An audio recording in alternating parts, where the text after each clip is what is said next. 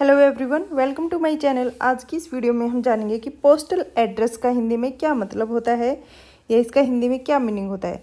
तो postal address का मतलब है डाक का पता या डाक पता।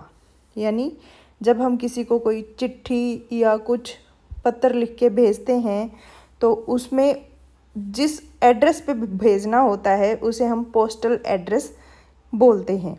ठीक है the address to which mail is delivered.